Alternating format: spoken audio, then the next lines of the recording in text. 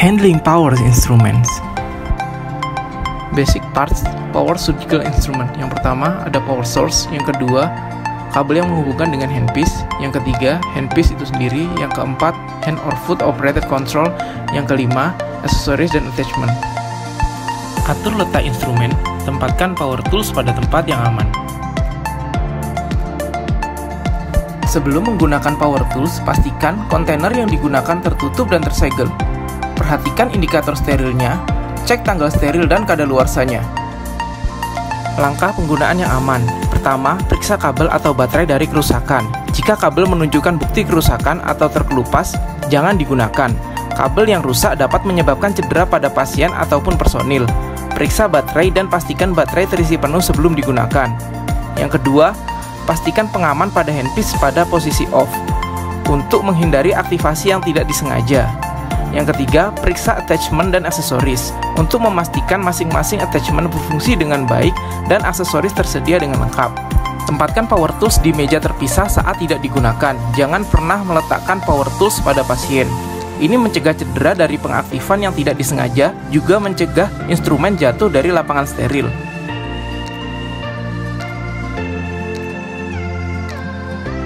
Lakukan pemasangan kabel. Perhatikan panjang kabel cukup untuk mencapai lantai dan letakkan rata dengan lantai. Ini mencegah tersandung yang tidak disengaja oleh personil dan mencegah kemungkinan pemutusan kabel secara tidak disengaja dari sumber listrik. Jauhkan kabel dari cairan. Kabel yang terkelupas atau rusak jika terkena cairan dapat menimbulkan bahaya listrik kepada personil. Sambungkan kabel dengan mesin dan handpiece sesuai dengan tanda pemasangan.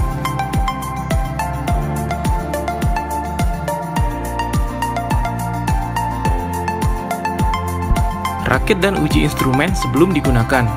Rakit attachment dan pastikan berfungsi dengan baik.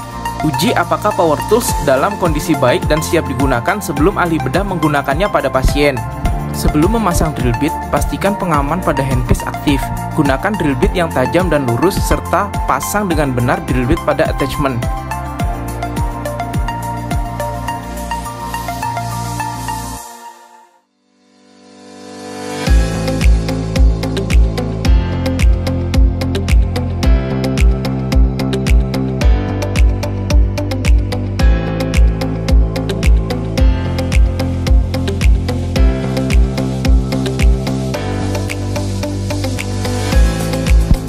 Passing power instruments.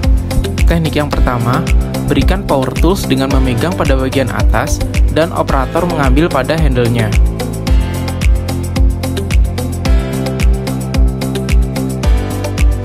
Teknik yang kedua, berikan power tools dengan memegang pada bagian bawah handle-nya.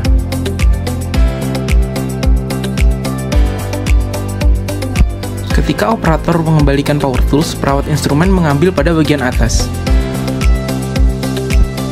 Saat mengganti attachment, pastikan handpiece dalam keadaan aman dan off.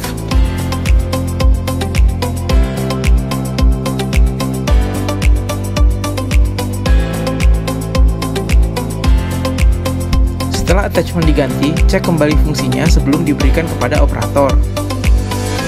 Selama prosedur bedah, pertahankan instrumen dalam keadaan bersih dari darah. Lakukan pembersihan instrumen dengan kasa dan air steril.